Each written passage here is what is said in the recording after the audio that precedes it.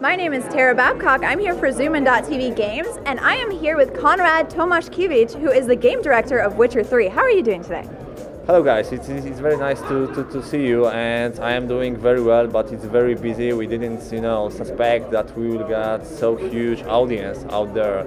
Uh, I'm very happy because people love the game and and uh, it was you know busy time before the uh, the convention because we need to make this presentation but it was worth it and now I know that this is the good direction people just love it and I'm very very proud.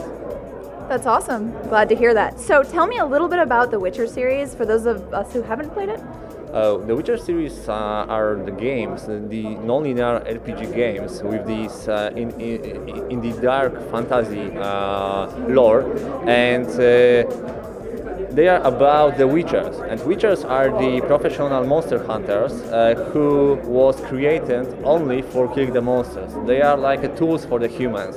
And you play one of these monster hunters who who was mutated when he was a boy. So it is going to be a little more about Geralt and his um, personal story, right? That's going to be really like the focus of the whole story. Exactly, yes. Uh, Geralt is, is the center of the story right now, and of course there are, you know, war in the background. There are some political actions in the background, and if you will do the side quest and if you do some also main quest, you can impact this this situation. And you know, uh, we from the first uh, first part of the game, the most important for us was this storyline, the immersion with the storyline, emotional approach to the storyline, and the choices in our game, every choice got its own consequences, and you cannot predict them. They are not black and white. Uh, they are like shades of gray, and you know, even if you, for example, help someone and you think that is good, uh, later in the game he can do something wrong for people you like and you, you never know if you if you're doing good or bad. So um, tell me a little bit about the mature content that's going to be in the game. I know The Witcher is a very mature yeah. series, yeah. so what can we expect? Uh, you can expect, of course, uh, relationships. You can expect uh, sex. You can expect uh, brutal combat. Uh, you can expect, you know, uh, situations you can meet in the real life. I mean, the you know the uh, dangerous situations which uh, you can do something or not do something. And you can meet people who who, who you know doing some wrong things and you can you know uh, work with them because sometimes you need to. But uh, you know it, it's like a real life and we will put every major stuff we got in there that's awesome so the witcher has gone open world tell me a little bit about being on the development team of an open world RPG?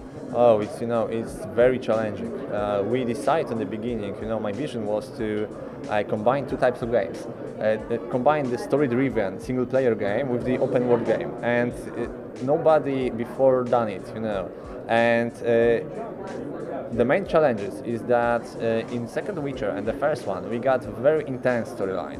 You, you, you felt that always something happening and you, you are in the flow of the game. And when you got open world, you got you know huge distances, and you can forget what you what you what you need to to do.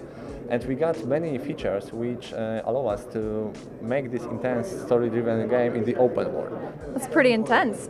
So tell me a little bit about how this is different from Skyrim. I know a lot of people are saying that you know open world RPG, it's going to be a lot like Skyrim. Yeah, uh, I think that the most, the biggest difference is the uh, storytelling and the characters, as I, as I told before, because every character in, in, in, our game is different. Every character is unique. Our story guys pay huge attention to create real uh, persons in the game, and uh, always when you are doing quests, you you get some emotions from it, and you my goal is to uh, give this feeling to you that when you finish the game, you will, you will, you will feel that you just uh, finished some great adventure and it was complex, it was wise, it was mature, and you, uh, you want to do it again.